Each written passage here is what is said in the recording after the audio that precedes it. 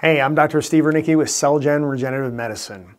So, I wanted to talk with you for a few moments about what to do about pain underneath your kneecap. So, rather than deep in the knee joint, this time what we're talking about is the cartilage that is between your kneecap, called the patella, and the rest of the knee joint, the femur and the tibia.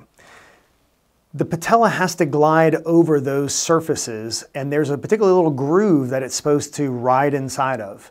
But certain times we wind up with injuries that create misalignments of the knee, and now the patella starts to track slightly off to one side or the other, and it can cause that cartilage to start to wear and tear unevenly and therefore wear out a lot faster. Just like it happens with your car. When your car's got bad alignment, your tires wear and tear unevenly, and because they're wearing and tearing unevenly, they also wear out a lot faster.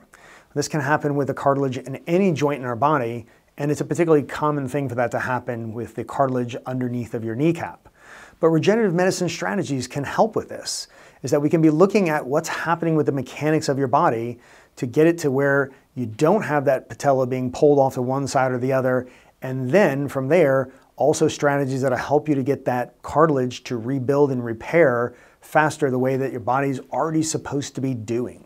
Cartilage is not something that you made once a long time ago, and now you're just trying to hold out and let it last as long as possible. Cartilage is wearing and tearing, and then you're rebuilding and repairing cartilage all the time. But we get into situations where the cartilage is repairing much slower than it used to, or being worn and torn faster than your body can keep up rebuilding and repairing it. And so if you get into that situation, then regenerative medicine can offer a lot of hope and a lot of promise for you. So I encourage you to give the office a call, set up a consultation to find out if you'd be a good candidate for regenerative medicine or not. And thank you for your time and attention. Feel free to post any questions or comments below.